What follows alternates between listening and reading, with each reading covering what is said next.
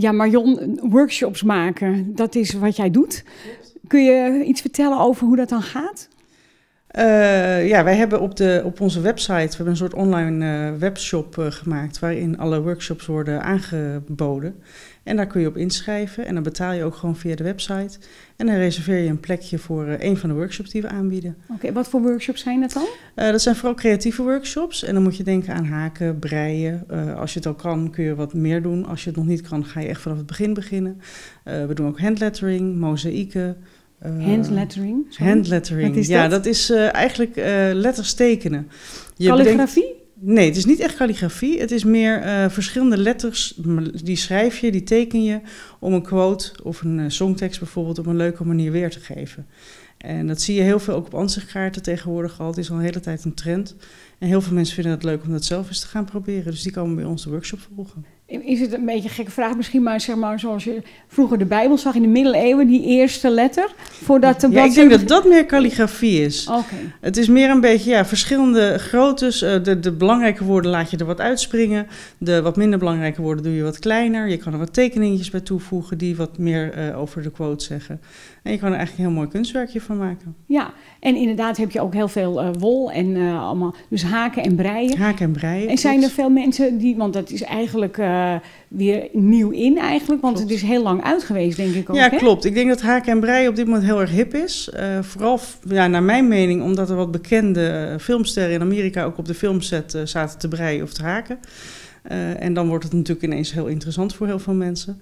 Uh, en zeker in deze tijd wordt er natuurlijk heel veel thuis uh, gehandwerkt, omdat toch thuis zitten wat belangrijker uh, wordt en het gezellig maken.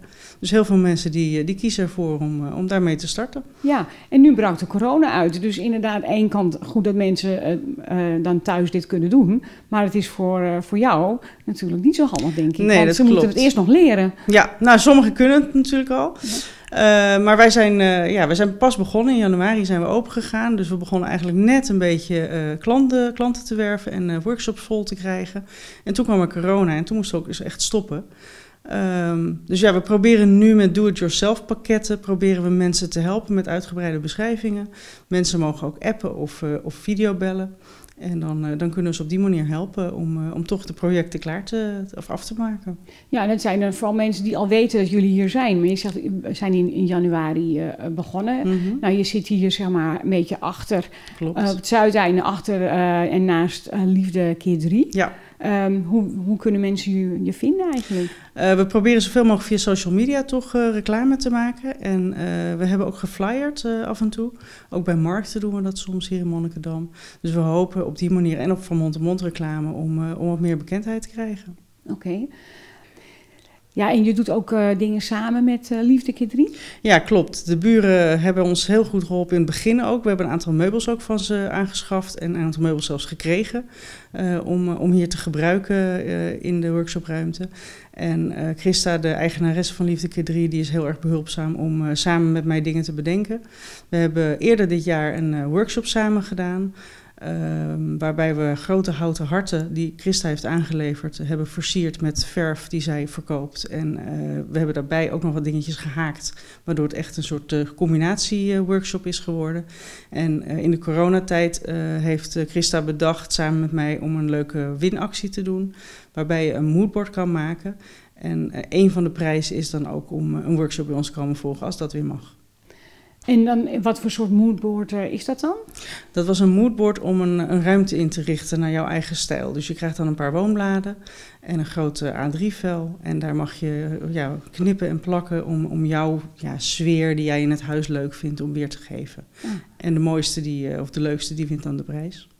En nu is uh, in deze periode uh, kunnen jullie hier niet zitten, want hoeveel zijn jullie eigenlijk normaal met een workshop? Uh, normaal hebben we een maximum van 8 tot 10 cursisten. Het ligt er een beetje aan welke workshop het is, want bij de ene hebben de mensen wat intensiever hulp nodig dan bij een andere workshop.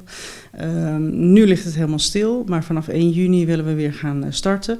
Maar dan echt met hele kleine groepjes van maximaal 3 tot 4 mensen omdat de ruimte toch beperkt is en van de anderhalve meter toch willen, willen handhaven natuurlijk voor de ja. veiligheid. Ja, en iedereen die dan binnenkomt uh, zich goed ontsmetten. En, uh, Klopt, ja. ja. we zorgen voor uh, desinfecterende middelen. we hebben papieren handdoekjes in plaats van een, een stoffen handdoekje. we houden afstand. En ja, de toiletten kunnen dan helaas niet gebruikt worden.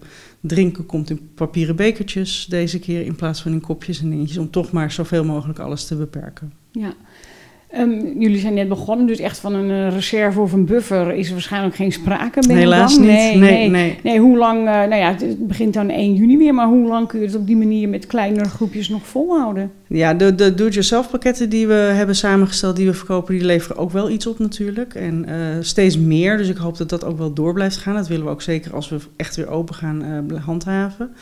Um, ja, we, moeten het bekijken. We hebben dit, deze ruimte in ieder geval voor een jaar gehuurd. En uh, normaal gesproken zou ik eind van de zomer de balans een beetje op kunnen maken. Van goh, hoe gaat het?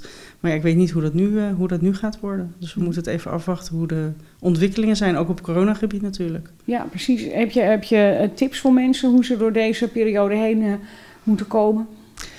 Uh, ja, blijf het vooral positief inzien. Want uh, ja, als je allemaal zagrijnig thuis gaat zitten, dan heb je helemaal niets aan. Met z'n allen naar het strand lijkt me ook niet een goed idee. Dus uh, maak het thuis gezellig. En uh, doe dat dan of met de doe-het-jezelf pakketten van ons of een workshop te volgen om daar iets mee te doen. Of gewoon gezellig thuis met elkaar en haal het eten bij de lokale restaurants op. Of laat het thuis bezorgen. Ja. Om die mensen ook een beetje te steunen. En maak je ook iets van een knuffelkussentje? Die hebben we nog niet. We hebben oh. wel kussens, maar die zijn wat stoerder. Niet echt de knuffelkussens. Oké. Nee. Oké, okay, heel veel succes Dankjewel. en uh, sterkte. Dankjewel.